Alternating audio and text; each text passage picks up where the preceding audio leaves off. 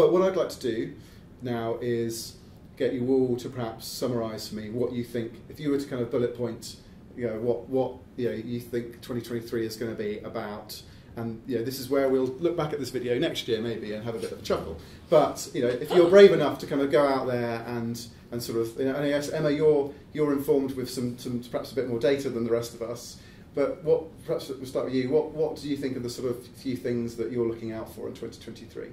So from a tech standpoint, what we're hearing is data. Well, really, actually, change, not a huge amount of change. Data, cloud, Yep. APIs, Right. automation, Okay. metaverse, Right. quantum, hugely All right. going up. Certainly Okay. in the next three years. Okay. Um, so, and and again, the ARs and VRs and all those kinds of things. Mhm. But I think what we've seen over the years is actually that intelligent business cannot be created unless it's the people and the processes and everything that wraps around it and the culture. And Of course. So, Yeah, all the good architectural Yeah. things that enterprise architects and solution and architects before and so even head, yeah, absolutely, and before Yeah. we even head into the external factors. But I think that retention of teams isn't always going to be the highest amount they're paid. It will be culture And the useful work, the purpose, that sort of thing. Absolutely. Okay. All right. Sally. Um, from a product perspective, getting back to the basics, Mm-hmm. focus on your users, have 10x value, you know, really um, have that clear adoption plan because, um, you know, in a, in a period of limited resources, you really, really, really need to focus on your users. And that, that's product 101, but um, I don't think the product discipline, which is only 10 years old, has really done a good job of it because there's many products out there that um, don't solve um, customer needs. Um, I think from a societal impact, um, I would I would love sort of a more national conversation about what we want our NHS to be. Um, you know, what what is the right thing that we want as a as a country, um, and a increase in trust in our public services. Yeah. Um, I think trust is absolutely sacrosanct, um, and it is, has had a bit of a battering over the last few years. So, what does that mean with trust? It means meeting someone in real life, looking them in the eye, and um, putting aside your differences and agreeing to come together over a, a common goal, whatever that is. Interesting. I'm going to pick up on something you've said there. I think 2023 is going to be the year of constraints. I think we've not had Yeah. several constraints for quite some time. Okay. If you take the personal aspect of that, Mm. it's interest rates. Mm-hmm. Mm-hmm. We are going to be finan- Financially constrained. financially constrained. Yeah. Um, we talked about labour shortages. We're going to be labour constrained Mhm. too.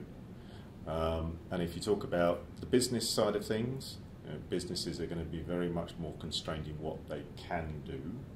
Um, just from geopol- you know, a geopolitical point of Yeah. view, Mm. with you know uh, some of the things we've mentioned earlier. Mm-hmm. I think we've become unused to constraints, certainly the degree we've, Mm. we've got to have. I think it's going to have a big societal, it's going to have a big business. But also impact. because of the pandemic, we've tried to throw them off. Like in response Yes. to being Mm. very constrained, we've almost Mm. gone and done all the things that we've, and then kind of rewinding that is going to be quite difficult. It's Yeah. exactly, Yeah. but it's a totally different set of constraints, Mhm. right? Yep. Uh, It's more, what's the word I'm looking for? I don't know. It's it's more basic set of constraints. Yeah. Um, I think that's going to lead, uh, uh, as an employee, it's going to lead to a much bigger focus on efficiency, Yeah. and there's a big tension there between that and the make people values, The purpose and values, yeah, treating people fairly. And, exactly. yeah. How much do you sweat people versus Yeah. treat them fairly is going to be. Yeah. Yeah, I think we're going to we'll perhaps get brands showing their true colours around some of this stuff, right? As things get Very much so. We just talked about the whole greenwashing thing where Mhm. people were taking credit for stuff they would have Yeah. done anyway. Yeah. Um, I think we're going to see a lot more of that. The companies are going to become more ruthless, I think, Mm. both with us as consumers and as employees. Yeah. Um, and I think we are, as people, we're naturally going to have to. So, how do we balance that against trying to form communities to deal with this in a cooperative way versus that kind of selfish consumer kind of way? And I think that goes to your point about what do we want from the NHS. I mean, we talked about education. I think we need to have a, a viewpoint about that is education Yes. too. We've gone from actually globally quite a well respected, Mm. largely skill based Yeah. education system to a more trying to hit a target Yeah. Yes. education Yes. system Yes. as we've you know kind of discussed here, I think that that's potentially the wrong way to go. Mm. Are we in a position as a society when we're facing tight constraints and we have to be as efficient as possible when we can say, well, actually, we need to back off from that in our education system and we don't want to necessarily look for the most efficient on whatever metric that is education system. We want one that's more focused on skills, society, and the, the rounding of the individual. Ironically, as we've used more data to sort of analyse things like education, Yeah. we've lost maybe our way, and, and actually, ironically, we need more of a gut feel and more of a creative and arty sort of side. It's the Of, difference between education and training. Yeah, yeah. And I think if we look at what happened with COVID, there were organisations who would compete historically who suddenly came together. There was this fabulous ecosystem and collaboration that grew and grew at rapid speed. And you know, LinkedIn would see people from different industries saying, "I can help, I can help." Over weekends, people were sending messages, "I need this and I need that," and so on. Fabulous things that people created. And I think if with economic downturn so often comes strain in every sense, personal, professional, and if we can try and avoid that fight or flight into how can we actually support each other within businesses, outside businesses, with our customers, with our employees, and across industry.